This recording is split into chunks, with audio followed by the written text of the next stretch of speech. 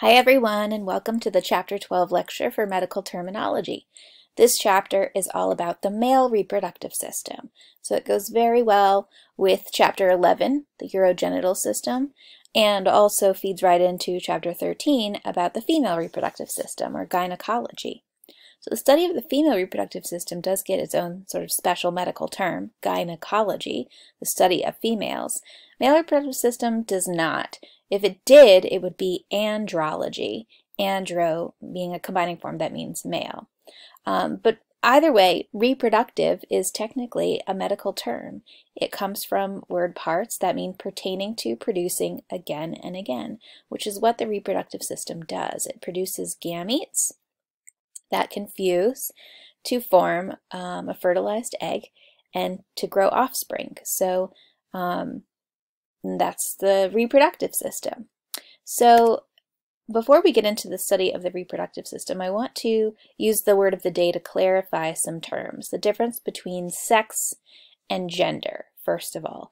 So sex is your um, determined by your genitalia and to some extent by your genetics. So sex is determined by genitalia, gender is determined by the brain. Most of the time, the brain and the genitalia match, and in those people we refer to them as cisgender. So the terms of the day are cisgender and transgender. So cisgender means that your brain and your genitalia match, and transgender means that your brain and your genitalia don't match.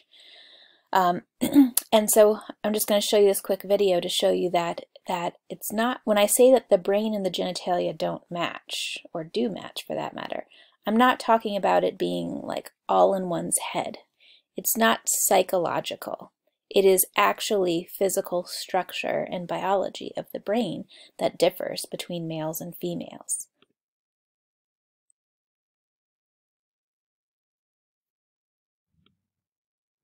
This video. I was at school. The principal told Don't me that I had to leave completely and that I couldn't come back unless I changed my hair. With the wonderful Laverne Cox rising to fame and Bruce Jenner's groundbreaking interview, transgender issues are finally making it mainstream. So naturally, we're gonna science this up.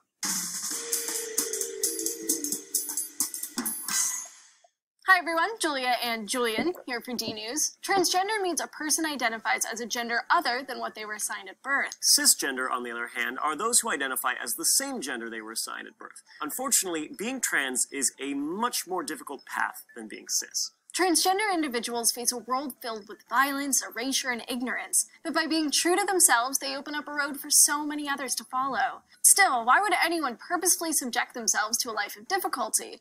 Well, it's not a choice, it's who they are, and science can back that up. One study, published in the Journal of Neuroscience, identified networks in the brain associated with gender. Using diffusion-based magnetic resonance tomography imaging, the researchers looked at the brains of people who are transgender as well as female and male controls. They found microstructures or connections in the brain that differed significantly between the male and female subjects. However, the networks in the brains of those who identified as transgender seemed to take up a middle position.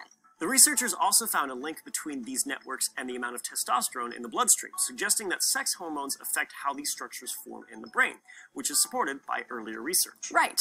Some regions of the brain show difference based on gender. In one study published in the Journal of Psychiatric Research, scientists used MRI techniques to scan the brains of 18 people who were assigned female but identify as male, and 24 male and 19 female heterosexual controls. The researchers found that the white matter of female to male individuals who received no hormone therapy more closely resembled brains of the male subjects than the female subjects. Another study by that same research group, also published in the Journal of Psychiatric Research, focused on those who were assigned male at birth but identified female. The researchers used similar techniques as the other study and found that their white matter microstructures fell between the measurements of male and female subjects. One of the authors of the study concluded their brains are not completely masculinized and not completely feminized, but they still feel female. And if it's a matter of brain wiring, a lot of kids would know early, and they do.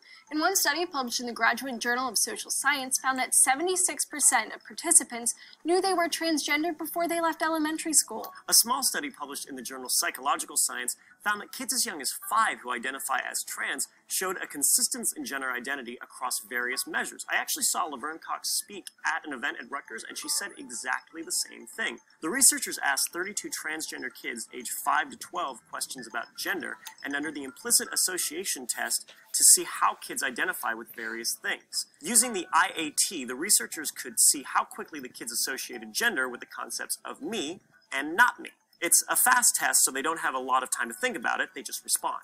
The researchers found that the kids' responses were indistinguishable from their cisgendered peers. The transgender girls responded the same as cisgender girls, and the transgender boys responded just like the cisgender boys. The researchers concluded that their study provided clear evidence to support that transgender children are not confused, delayed, pretending, or oppositional. They instead show responses entirely typical and expected for children with their gender identity. We know that gender is a complex and varied issue. Even Facebook recognized that reality.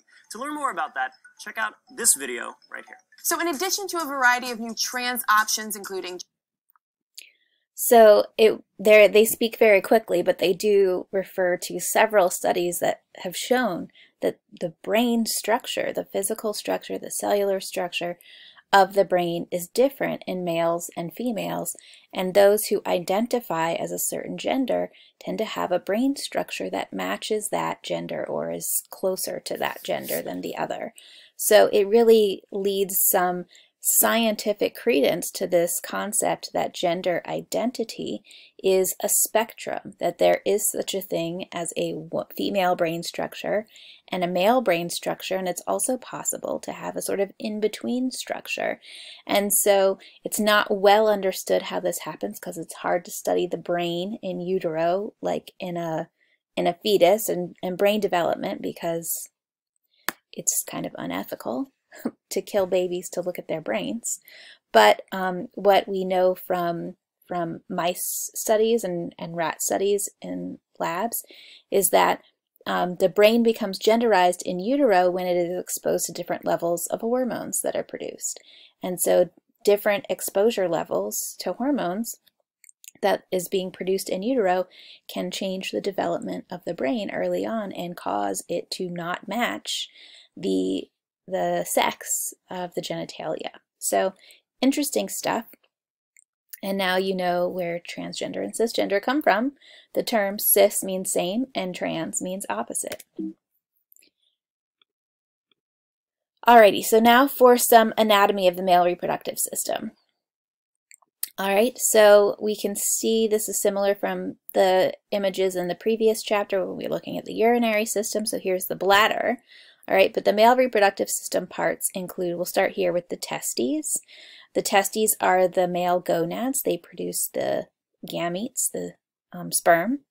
And then there is the epididymis, which is a structure that sits on top of the testes where the sperm go to mature. Then they get sent to the seminal vesicle through this long tube called the vas deferens. So the vas deferens is kind of like similar in um, its purpose as the ureter. It's just carrying the product of the testicles to the next part of the system. The storage tank of this system is the seminal vesicle. So the seminal vesicle also does make some seminal fluid that helps to provide nourishment and stabilizes the sperm. And then before ejaculation, or when ejaculation occurs, the, the sperm and the semen, the seminal fluid, leave the seminal vesicle, pass through the prostate where they pick up prostate fluid, and they pass into the urethra, past another gland called the bulbourethral gland, which also secretes fluid. And then they pass through the urethra, so they pass through the same tube to exit the penis as urine does. Um, and then, of course, they exit through the penis. Notice here in this picture, too, that here's the bones of the spine, right? Okay. There are no bones in the penis. Humans do not have a baculum, a penis bone. But what there is, is this um, erectile tissue. So you can see it here in pink and then in kind of like this other tannish color, all right? Um, and the erectile tissue functions by filling or swelling and becoming engorged with blood increased blood flow. So it's basically like controlled edema. And um, so I like to point out that there is no bone there. Um, the sac of skin here that the testes are in is called the scrotum. And I'm pretty sure I've covered everything on this slide here, and we'll go through each part of the this reproductive system in the slides to follow. so we'll start with the testes. So the testes live in the scrotum. The scrotum is the term for the sac of skin that the testes are housed in. The, the organs themselves, which are sort of egg-shaped, um, are the testes. So the testes live in the scrotum and hang outside of the abdomen because they're very temperature sensitive. So it's actually important for the testes to be a couple of degrees cooler than the rest of the body in order for sperm development to occur properly. That's why the male testes are outside of the body rather than inside of the body. It's also why the scrotum contracts and relaxes at different temperatures. It's all an effort to keep the sperm at the right temperature for development. Um, it, in fact, it's uh, one of the things that can lead to infertility or fertility issues in men is spending too much time in hot tubs. Um, heating up their testes too much can mess with their uh, sperm development. So the testes themselves are the organ that actually produces the reproductive cells, the sperm. We call these organs gonads. Gono means seed. So the female gonads are the ovaries, the male gonads are the testes. The testes are also part of the endocrine system because they produce hormones. The main hormone they produce is testosterone, um, literally a steroid hormone, sterone, that is made by the testes. So it's made in very high quantities by the testes. It's also made, we'll see, in females even though they don't have testes, they do make testosterone. They just make it in much smaller quantities.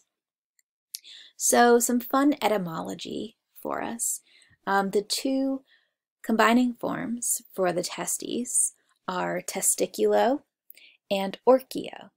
So testiculo and testi may be familiar to you as a word part in a common English term to testify.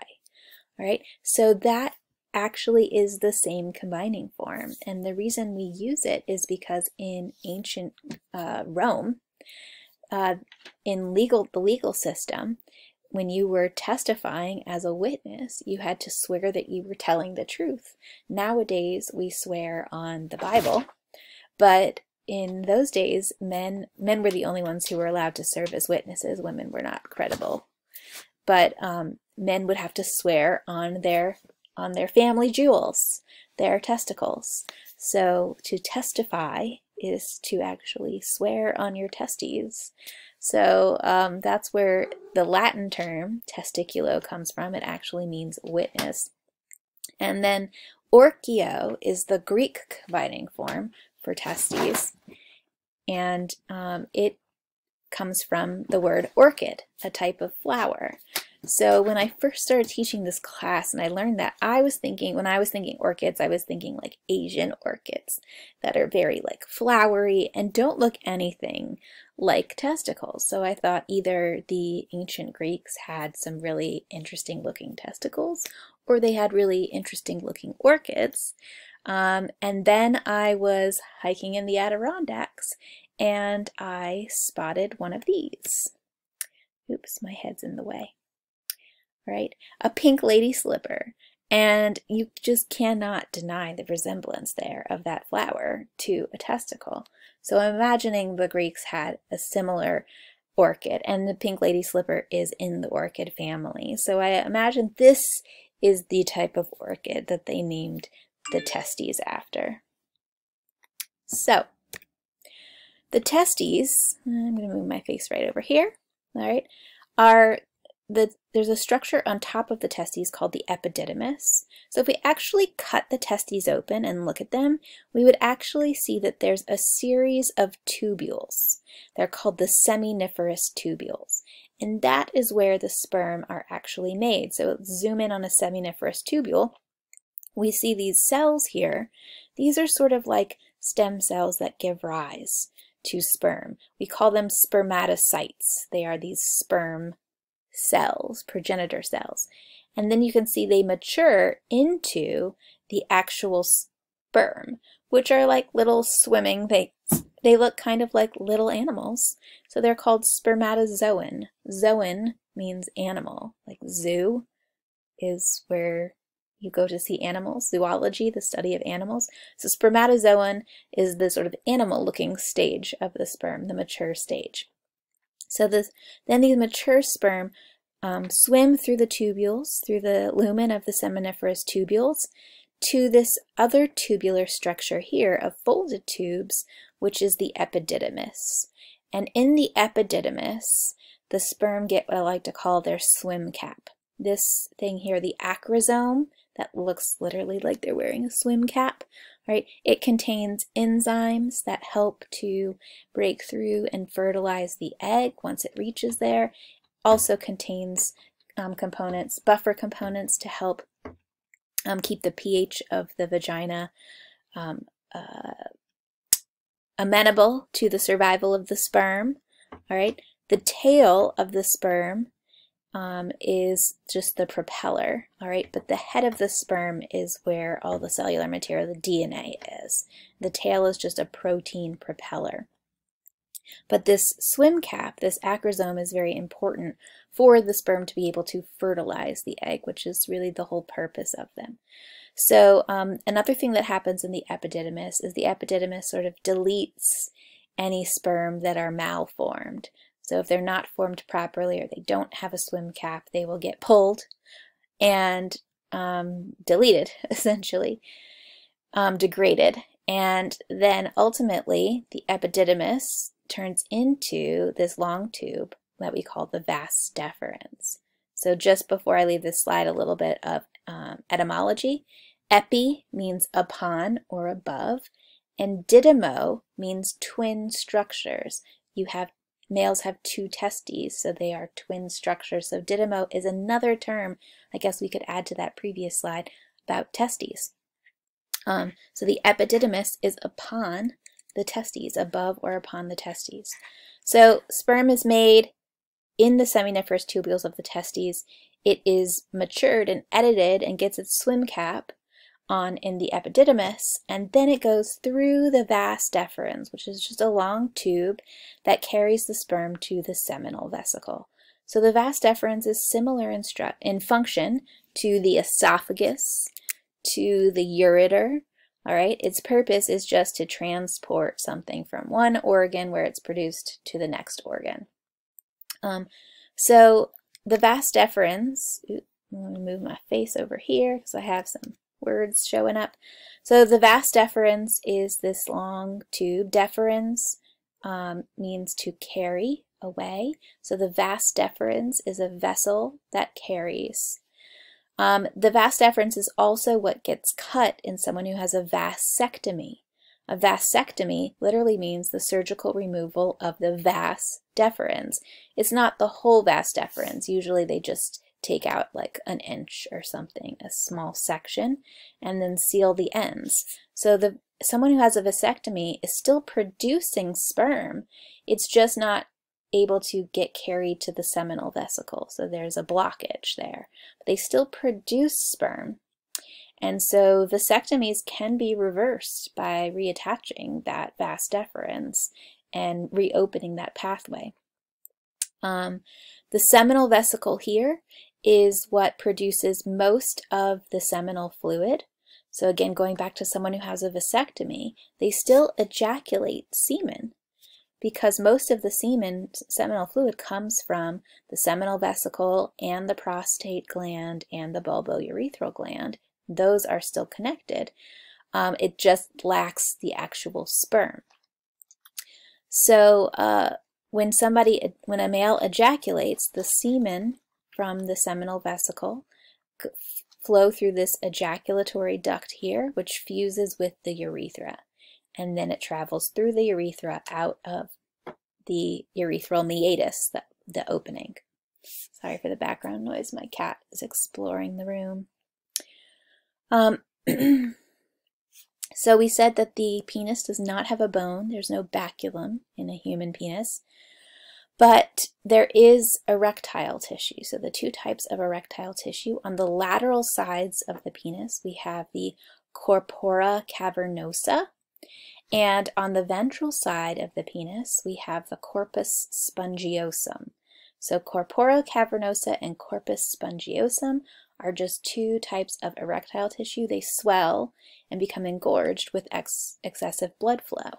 I have my little Harry Potter wand here because I think that those tissues sound kind of like Harry Potter spells. I mean, you can kind of imagine going corpora cavernosa, and I feel like erection through um, uh, what's the word through hemodilation all right through engorgement through blood causing dilation of the tissue is kind of seems magical than more magical than a bone i suppose um, so that's my harry potter joke for you the outside of the penis is covered by some loose skin that hangs over the head of the penis, or the glans penis, as it is called. And it is called the foreskin in layman's terms, but medical terms, it's called the prepuce. So um, people who have a circumcision, what happens is they remove the prepuce. And this is something that's largely cultural. So circumcision is done in certain religions like Judaism. It's a religious practice that happens eight days after the birth of a male. In some um, countries, it has been done, practiced as an act of hygiene.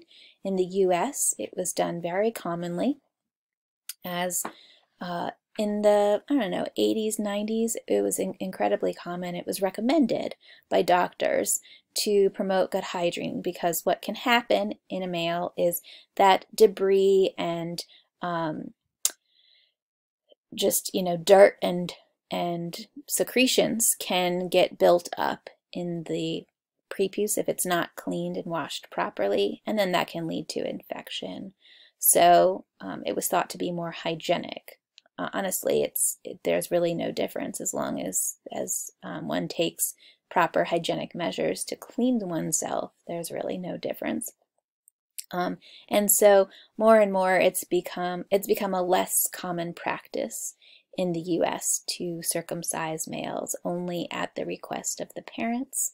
And in some circles, it is actually a highly debated form of, you know, some people debate whether it's even ethical to circumcise uh, a male baby that to alter their body without their consent. Um, but anyway, this is what a circumcised penis looks like versus an uncircumcised penis with the prepuce or foreskin still intact. So that process of removing it is called a circumcision, literally means to cut around. So what you're doing is you're cutting around the skin around the glans penis to remove it.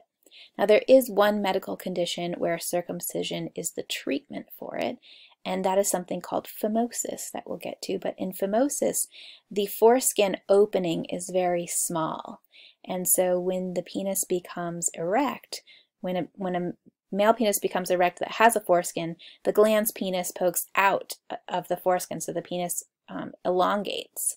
But in somebody with phimosis, the penis can't make it through the foreskin. It's like too tight. I think of it as like a turtleneck that's too tight. You can't get your head through. And so in that case, there is a medical need for a circumcision. So a little bit about the physiology of sperm production. Sperm production is called spermatogenesis, the generation of sperm, and it begins at the onset of puberty. So male children do not produce sperm. They have spermatocytes in their testes, but they don't develop into spermatozoa until the proper hormones are being produced, and that occurs at puberty. And puberty starts in the brain. So the pituitary gland in the brain starts to secrete two very important hormones, follicle stimulating hormone, or FSH, and luteinizing hormone. LH. And these are the same hormones that in, induce female puberty as well. So these, these are puberty-inducing hormones coming from the brain, and they stimulate the gonads. So the two thing, the things they do that way they're different is FSH, follicle stimulating hormone, actually stimulates the spermatocytes to develop into sperm. And luteinizing hormone stimulates the hormone production by the gonad. So in the case of the, of males, it stimulates testosterone production by the testes. So the testes, um, it's a different set of cells in the testes. So the spermatocytes don't secrete testosterone. Spermatocytes become sperm. The cells in between the spermatocytes are the interstitial cells, inter meaning between. They are the ones that actually produce the testosterone. So follicle stimulating hormone stimulates the actual maturation of those sperm cells. In females, we'll see it stimulates maturation of eggs. And luteinizing hormone stimulates hormone production um, by the gonads. In males, it's testosterone. In females, we'll see it's largely estrogen. So in males, the male hormone testosterone stimulates all of the sexual maturity, things that we see with sexual maturity, the physical developments associated with it. So testosterone in, influences sex drive in the brain. So there are testosterone receptors in the brain. It increases or it stimulates hair follicles to produce hair, thicker hair in certain areas in the face, the chest, genitals, the underarms. Um, it stimulates growth of the Adam's apple of the larynx and so it changes the voice, male voice. It also cycles back and stimulates more sperm production. So it signals itself. And it also stimulates growth and development of the external genitalia. So lots of things that testosterone does, and it's really the reason that the male body physically changes during puberty. So in order to fertilize an egg, that sperm has to exit the body and enter the female body in order to get to the egg to fertilize it. So um, the process of that, the physiology of that, is through erection and ejaculation. So the male penis becomes erect through vasodilation. So the process of blood flowing to the tissue and dilating. So the blood vessels dilate, which allows fluid into the erectile tissue and leads to engorgement um, and this can happen through uh, either physical touch or thoughts that initiate this process.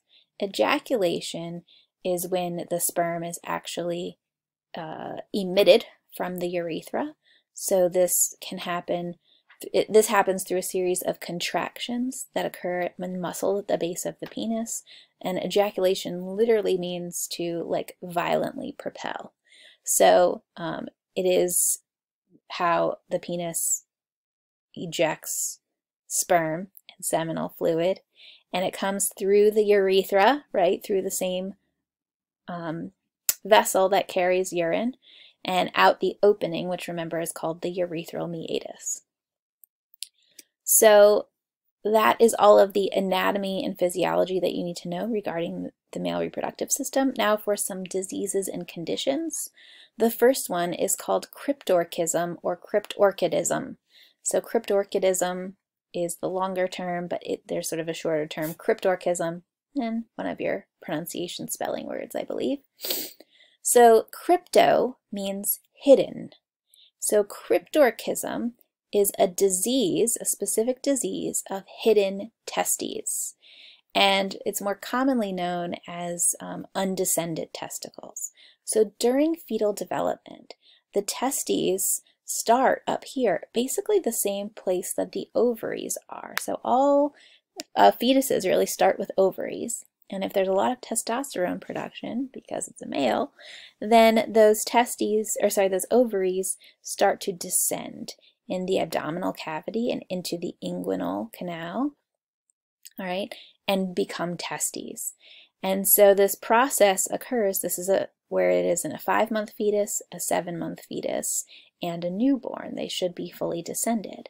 Um, one of the things doctors will do in male newborns is check that their testes have dropped. Sometimes they drop a little bit after birth, um, but if they fail to drop within a certain amount of time after they are born, they may be surgically descended.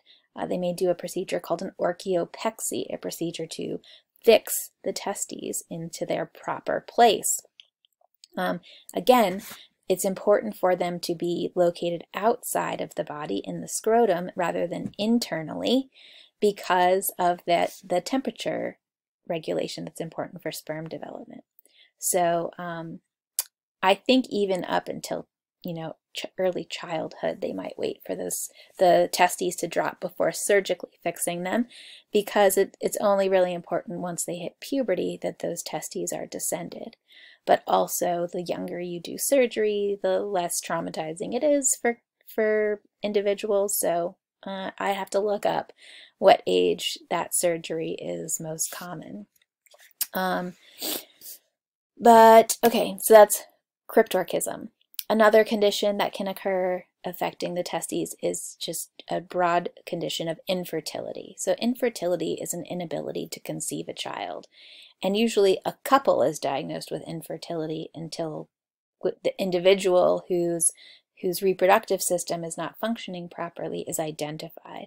And so a male who has infertility could have many different problems. It could be due to oligospermia, which oligo, remember, means few or scanty. So this is a condition of scanty sperm production. So they make sperm, but they just don't make a lot of them. So this grid system is a microscope slide that's used to count things. So on the left here, we have maybe someone with a normal sperm count, and on the right, we have someone with a more sparse sperm count with oligospermia. So males ejaculate millions of sperm. Um, it takes a lot of sperm to ultimately have one that makes it all the way to the egg and fertilizes it. So fewer sperm just means fewer chances, fewer odds of getting fertilization. And so um, someone with oligospermia may still be able to conceive naturally, but the it's just a lot harder. Um, and things like spending too much time in a hot tub can contribute to oligospermia testicular, uh, oh, other things that can cause infertility, um, aspermia, someone who doesn't produce sperm at all. Um, a vasectomy is intentionally causing infertility. Um, there can also be problems with the motility of the sperm. So maybe a uh, male produces plenty of sperm, but they um, are not able to swim properly, or maybe they have a defunct acrosome, so they have lots of sperm and they swim great, but they get to the egg and they just can't fertilize it because they don't have those enzymes necessary. So there's a lot of different deformations or malformations of sperm that can lead to infertility, oligospermia being one of them. Another condition is testicular cancer, cancer of the testes. So this is kind of a unique one because most cancers um, are have an increased risk as we age. So beyond 40 really is when the, the risk for many cancers becomes higher. There's a couple of cancers, uh, blood cancers, leukemias that are common in childhood. And then there's testicular cancer, where the most common age of diagnosis for testicular cancer is like in the 20s like late teens, early 20s to mid 30s is like the peak range for diagnosis of testicular cancer. So it's very important for young men to do regular examinations of their testes to feel for hard tumors because it's not a, a cancer that's associated with age, increased age. It's actually one that's more highly associated with younger men. Prostate cancer, however, is more common as men age, and it's one of the more treatable cancers, prostate cancer. Testicular cancer is often treated through surgical removal of the testes. And prostate cancer can sometimes be treated through chemotherapy without removal of the prostate, but it can be treated with removal of the prostate. Other diseases and conditions, any kind of infection remember, is going to have the suffix itis, an infection or inflammation. So infection or inflammation of any part of the uh, various parts of the male reproductive system. Epididymitis would be um, inflammation of the epididymis. Orchitis, inflammation of the testes. Prostatitis, inflammation of the prostate. And balanitis, balano is a combining form for penis. Another combining form for, for penis that I don't have in this lecture, but you should know, is phallo, P-H-A-L-L-O. Um, a lot of times things that have a penis-like shape are described as phallic, right? Phallo is another combining form for penis. Um, some other conditions that we have here about really that have to do with erection. So chordee is a condition of curvature of the penis during erection. So normally the penis should be straight when it's erect, but in some people it's slightly curved. Um, it can be uncomfortable. It's often associated with people who have hypospadias or epispadias, so a, a shortened urethra um, and an improper urethral meatus opening. So um, the, what makes it difficult can make it difficult to have intercourse when the penis is curved. When the vaginal canal is straight, it makes for a mismatch in anatomy there. Um, erectile dysfunction, or ED, is an inability to obtain or maintain an erection in order to have successful intercourse. So it is a failure of that process of vasodilation, of engorgement. So one of the treatments for erectile dysfunction is a drug called Viagra, and there's also uh, generic forms of it. Uh, interesting story about the discovery of Viagra. It is a vasodilator, and vasodilation does lead to erections, but also vasodilation on a systemic level in the body leads to a drop in blood pressure. So Viagra was actually a drug that they were studying to treat high blood pressure. They were they were studying it as a uh, like a heart medication to treat people with chronic hypertension, and they did a trial and they you know gave the drug to different people tested whether it helped their blood pressure and it wasn't really very successful as a blood pressure medication so they ended the trial and they were like everyone give back your extra meds and they found that the male participants were really who had the the the um the actual drug, not the placebo, were really hesitant. They wouldn't give back the extra medication. They really insisted on keeping it. And then they did a little more um, you know, questioning and found out that there was this side effect. It had this side effect of giving them erections, and they liked that.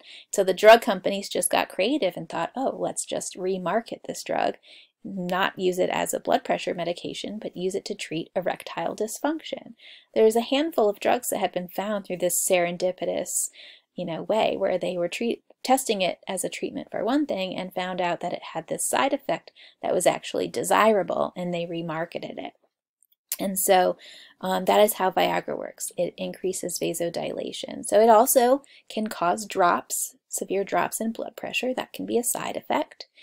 Um, another side effect that can happen is called priapism. Priapism is a prolonged and often painful erection.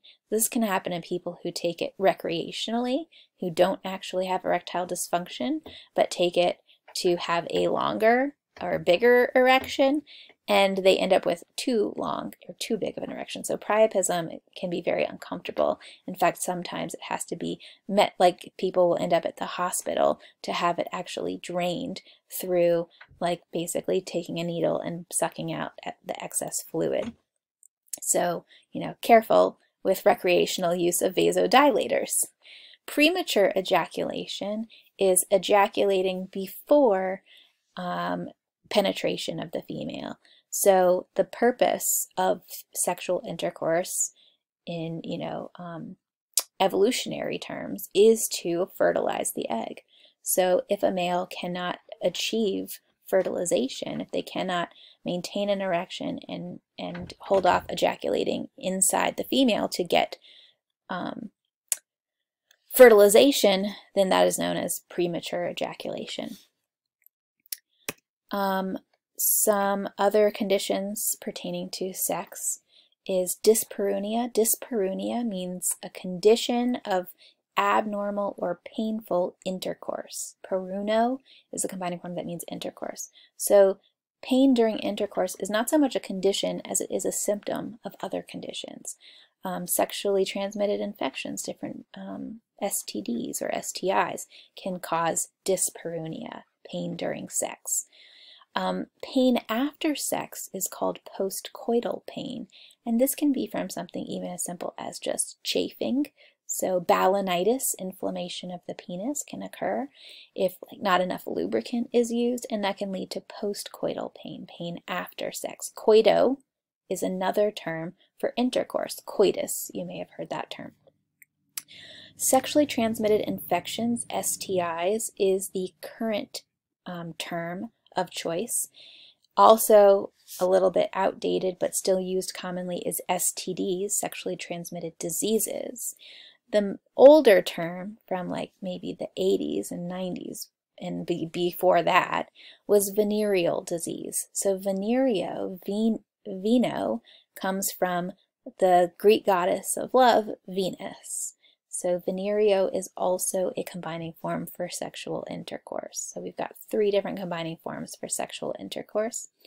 Um, so the most the most common term today is STI, sexually transmitted infection, but you still may have doctors who refer to it as STDs or even as VD, venereal disease. So there's a number of different STIs, um, and we'll talk about them on this slide. So um, one that is particularly um, pandemic, I guess.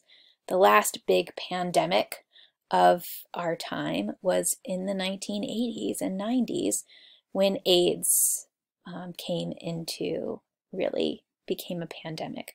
AIDS is the disease. It's called acquired immunodeficiency syndrome.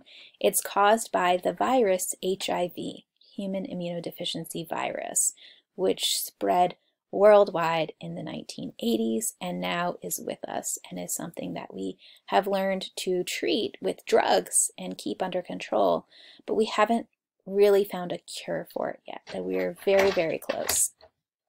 Um, and the cure is is complicated. It involves um, transferring T cells, so it would be it's not like a drug that or a vaccine that we could administer wide scale. It's something that would be expensive and be um, uh, individual to each individual. So that's HIV that causes AIDS, immunodeficiency syndrome. Chlamydia is actually the most common sexually transmitted infection. It's often asymptomatic, so people don't know they have it, and then they can transmit it to others. It's treatable with antibiotics, though. Um, another very common one that's very similar to chlamydia is gonorrhea. So they both have similar symptoms, pain or stinging during urination, pelvic pain, but again, they both can oft also be asymptomatic. Gonorrhea literally means flow of seed. It's often referred to as a genital discharge disease, so it does cause increased discharge. So that's what that rhea, gonorrhea, that extra flow of seed of, of genital discharge. Herpes simplex virus, HSV1 and HSV2, cause genital herpes. They lead to um, lesions on the genitalia that are painful and also serve to spread the virus. All herpes viruses, that's my cat and dog at the door, um, all herpes viruses have this ability to go dormant. So once you are infected with a herpes virus, you always have that herpes virus in your body. We saw this um, back in the skin chapter with chickenpox and shingles. The chickenpox shingles uh, virus, the herpes varicella zoster virus, is a herpes virus. So you get an initial infection, causes these skin lesions, and then it lays dormant in your nerves and it can um, re emerge. And so um, that's genital herpes as well. So there are medications that you can take to help keep that herpes virus dormant, but once you have it, you always have it. Um, HPV, human papillomavirus, is a family of viruses. It causes skin warts, so we also saw that in chapter 7. We talked about the integumentary system. But there are also strains that can cause genital warts and strains that can cause cervical cancer and other types of cancer. So strains that can cause cancer, basically, mucosal cancers. So of the cervix, but also of the anus, of the throat and mouth. Um, and so there is a vaccine for HPV. We do not have a vaccine for herpes simplex virus or for HIV, though many people have tried to develop one for these diseases to no avail. But there is a vaccine to HPV that came out in 2006. It's one of the newest vaccines, and it is highly effective at preventing the strains of HPV that cause genital warts and cervical cancer. So in essence, it is a cancer vaccine because HPV, really the most severe disease it causes is cancer. So getting a vaccine for it, it's actually our, our first real vaccine against a type of cancer. So I strongly encourage you to get it if you have not, um, and to have your kids get it as well. My Both of my teenage boys have gotten theirs, and my daughter will get hers when she's old enough. Syphilis is a sexually transmitted infection that's caused by a, a bacteria that can can sort of hide in the body and cause chronic disease. It's very treatable in the early stages with antibiotics, but if it goes untreated, it can lead to sort of systemic problems, including brain problems, neurological problems that basically cause dementia, a form of dementia. But the early signs of it is a painless chancre. All right, it looks like the word canker, but it's actually pronounced shanker in this case. And it's like a lesion on the genitals, it looks like a blister, but it's not painful. And so sometimes what can happen is people see it and they intend to get it checked out, but it, it's not really causing any pain, and then it goes away. And so they never end up getting getting it checked because they think, oh, whatever it was, it didn't bother me and now it's gone. All right. But if you ever see something like that, that is actually cause for concern and to see a doctor because it could be a sign of syphilis at a very early and treatable stage. Alrighty, so some other conditions. Benign prostatic hypertrophy. This, okay, benign means that it's not cancerous prostatic, pertaining to the prostate, hypertrophy, overdevelopment. So the prostate, remember, it wraps around the urethra. And so if it becomes overdeveloped, all right, it can squeeze or squish that urethra and sort of smother it. And that can cause pain and discomfort during urination. So it's very treatable. It's benign, but it's also similar to the symptoms that one might get if you have prostate cancer. Gynecomastia is a condition of female-like breasts, so enlargement of the breasts in a male. This can be due to hormone irregularities in a male. It can also be due to side effects of medications that they are taking. So gyne gynecomastia is um, male breast development. And then phimosis is one I was speaking about earlier, where the, like the turtleneck, where the foreskin, is, the opening of the foreskin is too small and the penis can't fit through. So it's a condition of being closed too tightly. Phimo means tightly. And osis is a condition. So the treatment for phimosis is circumcision. Some diagnostic procedures in the male reproductive system looking for prostate-specific antigen, PSA. So prostate-specific antigen is a high levels of it in the blood um, are indicative of prostate cancer. So it's basically a blood test that can look for prostate cancer. So testing the blood for PSA. Um, semen analysis can be done if somebody's having trouble, if couples having trouble conceiving. They can do semen analysis to look for um, issues with morphology, the shape of the sperm, and also motility issues, and also just numbers, sheer numbers. Um, ultrasonography, using an ultrasound or a sonogram to look at structures like the testes. A digital rectal exam is commonly practiced at male annual appointments to look for prostate swelling. So the prostate can be felt through the rectum. Let's go back and find a picture. Um, gonna go back pretty far here. Yeah. Okay, so we go back here, you can see here's the anus and the rectum, all right, and here's the prostate. So by sticking their fingers up the rectum, doctors can feel for the prostate.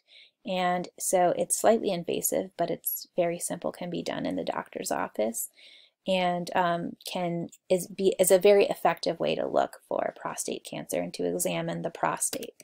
So digital, meaning fingers, and rectal, meaning the rectum. That's how that exam is performed, digital rectal exam. Biopsy is a procedure to take a piece, a cutting of a tissue in order to look at it under a microscope. So um, the testes or the prostate might be biopsied if cancer is suspected. Um, or also, like if it's removed because of suspected cancer, they may also send it for a biopsy to look at it under a microscope as well. Some medical and surgical procedures that can be performed for the male reproductive system. Circumcision, of course, to cut the remove the prepuce, the foreskin, by cutting around. An orchiectomy would be a surgical removal of the testes, maybe in the case of, of cancer, of testicular cancer. An orchiopexy, procedure to fix the testes in place if they are undescended. So if somebody has cryptorchism, they may need to have an orchiopexy. A prostatectomy, removal of the prostate in the case of someone who has prostate cancer potentially.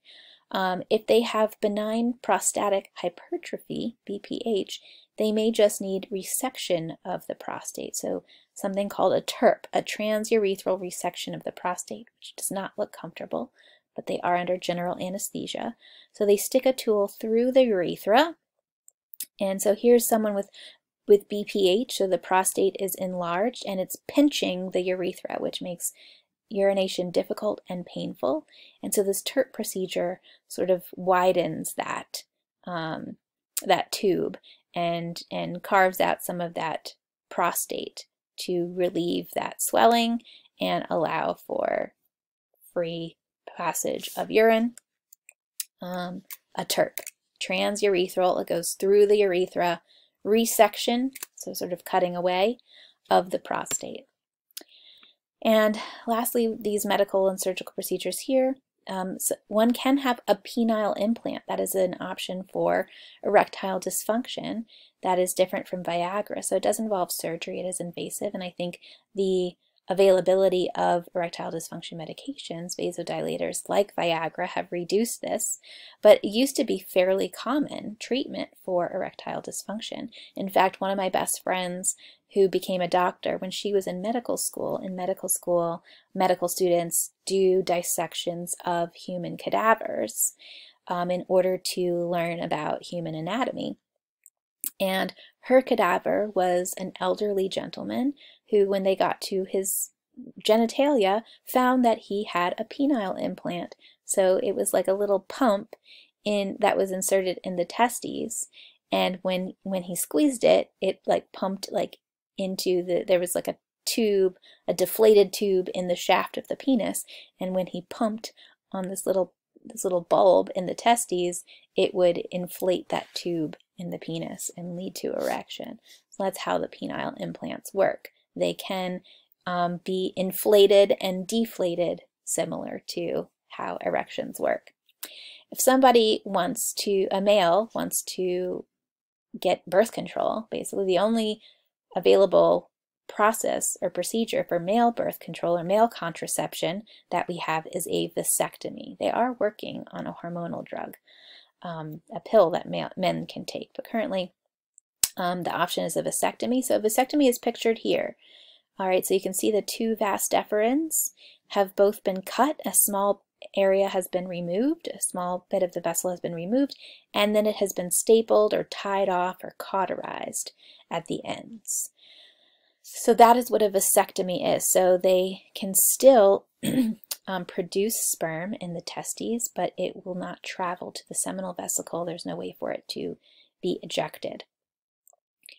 In the case of somebody who wants to have their vasectomy reversed, so fun fact, fun story for you, personal story. When I met my husband, he was divorced and had two kids, and he had already had a vasectomy. He'd had a marriage and he'd had kids, and he felt like he he was done with that. He never wanted to get married and have any more kids again. And then he met me, and I was so special, and that he wanted to marry me, and I really wanted to have kids. So he went through a vasectomy reversal so that we could have our daughter. And we do have a daughter, so it was a successful surgery. But it's a very um, delicate surgery because the doctor has to literally go in and pull out this tube that's as thin as spaghetti and sew it back together. So they have to sew the lumen and then sew the inner part and then the outer part back together. So this is a very delicate procedure. You have to have really good steady hands and it's really the skill of the doctor that determines the success of the surgery. So my wonderful husband went through this procedure to have a vasovasostomy. That is the medical term for a vasectomy reversal. And he gives me permission to share that story as long as I share that he did it without general anesthesia. He had local anesthesia and he described it as having his testes slammed between two bricks, stung by a hundred bees, and lit on fire. I swear he didn't seem like he was in that much pain when it was happening, but that's what he claims that it was. So he doesn't recommend getting a vasectomy before you're absolutely sure that you don't want any more kids. Um, so that's uh, a vasectomy and a vasovasostomy or a vasectomy reversal. Literally, vasovasostomy means to, to make a, an opening between two ends of the vas. So you're taking these two vas ends and putting them back together. A vasovasostomy is a type of anastomosis. Remember anastomosis from chapter 5 um, is taking two ends of a tube of a vessel and put, reconnecting them. So if you have uh, surgery on a blood vessel and you have part of your blood vessel snipped out and the tubes are reconnected, that's an anastomosis. So vasovasostomy is an anastomosis of the vas deferens. And that is the end of chapter 12.